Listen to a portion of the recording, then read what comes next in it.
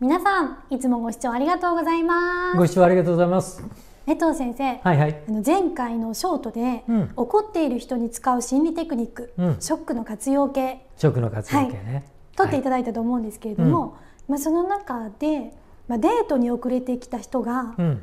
アイメッセージでショックだったんだよって伝えた方がいいっていう内容だったんですけども、遅れてきているのに相手が悪くないですかっていう意見があったようなんですけども、うんうん詳しく解説していただけますか？ね、はい、遅れてきた相手が悪いよね、はい、うん、だからあのまず僕はねあのショックの活用系っていうのはあの遅れてきた人とか失敗した人とかそういう人があの言うんじゃなくて、はい。第三者として怒りのベースはショックだったんだよねっていうことを第三者として、えーまあ、怒りをちょっと、うん自分自身に向けさせるために使ったんですね。例えば、うん彼氏が遅れてきた時に、はい、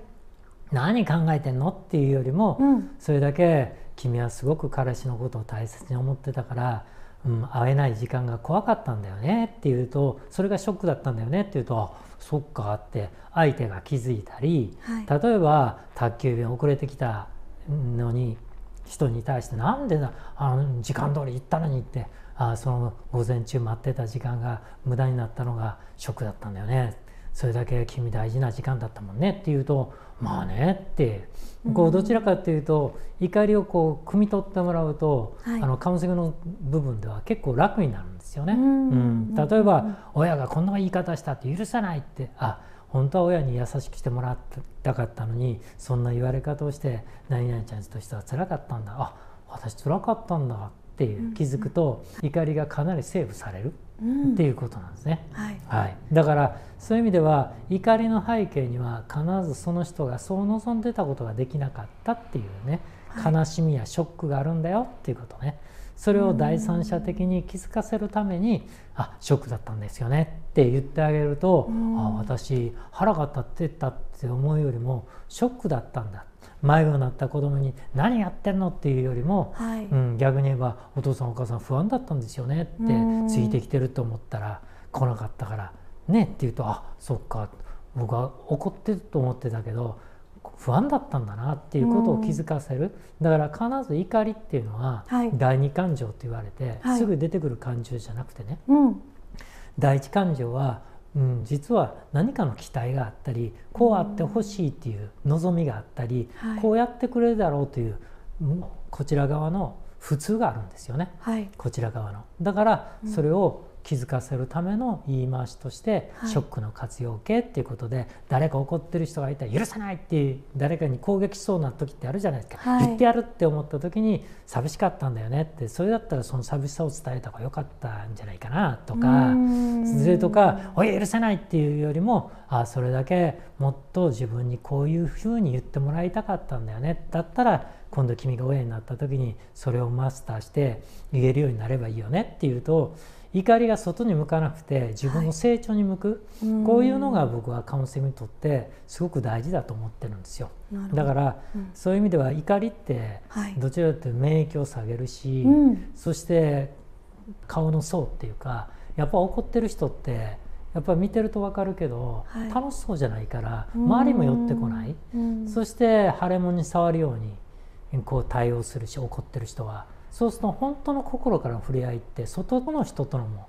うまく取れないじゃない？はい。そうするとより思いにならない部分が人生の中で多くなってくるとよりこう怒りの人生がどんどんこう色濃くなっていく。うん。だからもうちょっと薄めた方がいいかなと思って、うん。だからあ怒ってる人に対して僕らカウンセラーは腹が立ってるっていうのに腹立ちよねって同調はしないんですよね。それだけ大々さんにとっては寂しかったってことなのかなと。あ私寂しかったのかなって気づかせるのは僕らカウンセラーの心理テクニックとしてあるんですよね。うんそういうものをうまくマスターすれば皆さんの周りの怒ってる人に対して、えー逆に怒りを助長させないで、はい逆に怒りからその人自身を見つめるきっかけを与えられるかもしれないっていうことなんですね。怒ってる時とか怒ってる時ってなかなかその第一感情って自分でわからない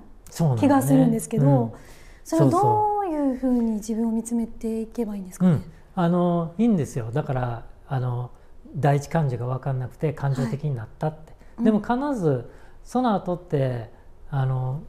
感情的になると人間関係ちょっと変になっちゃうんで、はい、後悔するでしょ？はい、あなんか言わなきゃよかったとか、余計なこと言っちゃったなってなりますよね、うんうん。うん、だから後悔するっていうのも実は成長でね、はい、後悔するんだったら2度あることは3度あるであまた今度こうなった時には今度こういう言い方をしてみようっていうね。ただ後悔最悪ではなくて、はい、あ自分は怒りをボンと第二感情をぶつけてしまう可能性がすごく強いんだなと。だったらその前にあったのは寂しかったりがっかりしたり驚いたり不安になったりっていう怒りっていうよりも自分の中にある感情に気づく、うん、そうすると、はい、じゃあ今度はこういう言い方をしてみようとか、うん、今後はこういう対応をしてみようとなるとそのマイナスな出来事が、うん、肥やしとして肥料として次の花を咲かせるんで、うん、ただもう私そういう性格なんですっていう私もイライラしちゃうんですって終わらせないで、はい、僕らカウンセラーはどちらかというと性格ですっていうと成長がないんで、はい、性格っていうのは自分が知らないから外に出ちゃってる部分があって怒りもね、はい、不機嫌さも不満もね、でも心理的にちゃんと追求していけば見えてくるのは、うん、その人の内側にある非常に傷つきやすい心であったり、うん、寂しさであったり、はい、それを僕らはその人に気づいてもらってそうするとだんだん外に感情を外に出してねその怒りで相手を動かそうというよりももっとあこの人いい人だなとか、はい、この人素敵ねと思わせるあの人間関係、はい、いい結果を作り出せることって可能なんですよね、はい、だからそういう言い方をね僕らは、えー、ぜひとも提供しているし、はい、覚えられた方がいいかなと思うんですよね。だから、うん、誰かが怒ってる時にはサポートする友達とか周りがいや腹立っちゃうねとか腹許せないよねって同調するよりも、はい、それだけ誰々君はそれだけショックだったってことかなとか、うん、友達を大事にしてたからそんな言われ方した時に、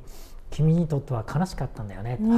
僕悲しかったんだっていうね。そうすると自己洞察って心理学に言うんだけども、自分を見つめる一つのきっかけを与えられるのもやっぱプロのカウンセラーとして、はい、これは日頃カウンセリングの現場じゃなくて、うん、日頃の人間関係でも使えるんで、はい、ちょっとマスターされたらいいのかなと思って。はい、あの1分は本当にショートなんで、はい、すごく誤解されちゃうんですね。はい、だって遅れてきた人に「ね、あの言われたら寂しかったんだよね」とか言ったら「はあ?」みたいな、ね、なっちゃうね、うん、だから それは本当その通りで、ね、あの遅れてきた人が、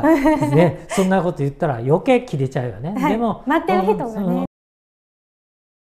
待ってる人じゃなくて、うん、送ってるあの遅れてきた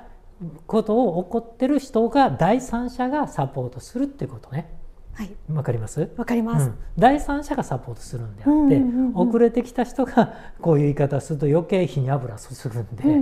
ね、あのそのことはちょっと理解した方がいいかなと思います。はい。ありがとうございます。このアイメッセージってすごくあの大事ですね。なんか怒りをぶつけるよりも、うん、本当の自分の本音を伝えていくそう練習量がいるんだけどね。はい、私腹が立ってるのと私は思うんですみたいなね。怒りにただ私は思うんですってつけたあの アイメッセージまがいみたいな。